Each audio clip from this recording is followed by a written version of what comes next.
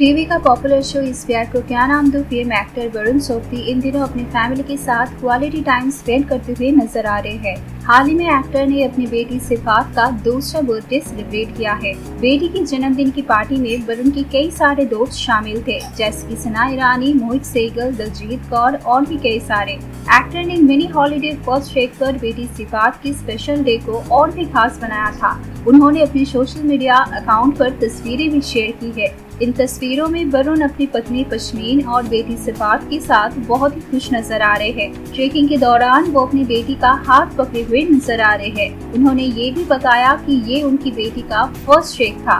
वरुण ऐसे इंसान हैं जो अपनी पर्सनल और प्रोफेशनल लाइफ को मेंटेन करके रखते हैं। वो अपनी बीवी पश्मीन और बेटी सिफात के साथ टाइम स्पेंड करने के लिए कैसे भी समय निकाल लेते हैं।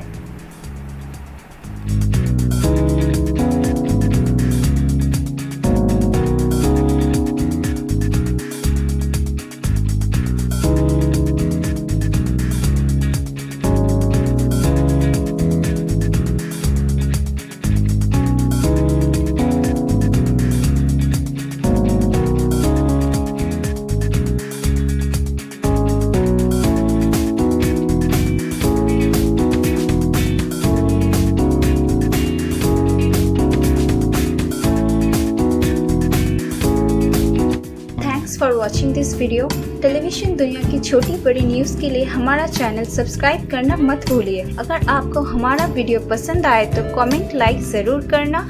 फिर मुलाकात होगी अगली वीडियो में।